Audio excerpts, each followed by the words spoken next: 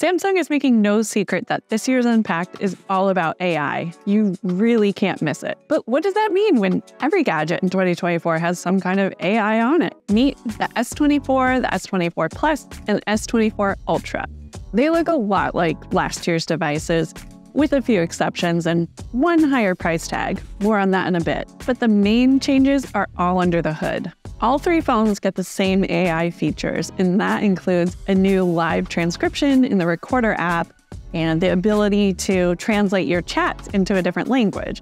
You can even have AI help you tailor your message to a certain tone, like more professional or more chatty. Thanks, AI.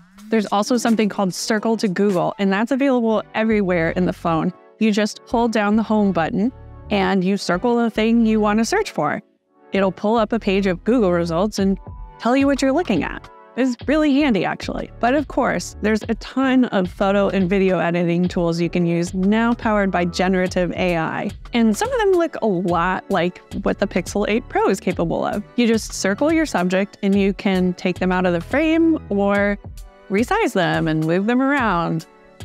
Not always the most convincing. Sometimes it totally invents something that looks a little wonky, but it's a lot of fun to play with and could be really useful. And if you're someone like me who always takes crooked photos, there's a new way to adjust the horizon and have generative AI fill in the edges rather than punching in. That's really helpful. One of the coolest features we saw was the ability to turn any video you've taken from any camera into a slow motion video. It doesn't matter whether you shot it at 30 frames per second or 60 frames per second. It uses AI to fill in the gaps between the frames and give you a slow motion video. You just hold down on the subject and voila, it looks really good. You can see me here playfully whipping my hair back and forth, and I don't know, it looks really convincing. But let's talk about the big guy, the S24 Ultra, the flagship.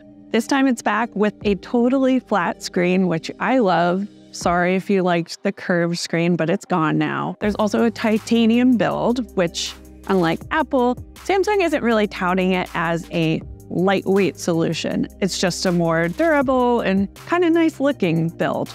And of course, we've got a whole bunch of cameras, including a three times zoom and this time a five times optical zoom. That's down from the 10x zoom on S23 Ultra. The Samsung assures us that the 10x quality is actually better than the previous generation. Of course, you still have 100 times space zoom. It looks weird, but it's a cool party trick.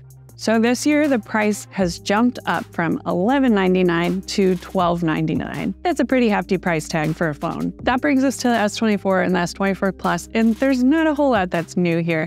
The bezels on the screens are slightly smaller, so the screens themselves have gotten a little bit bigger.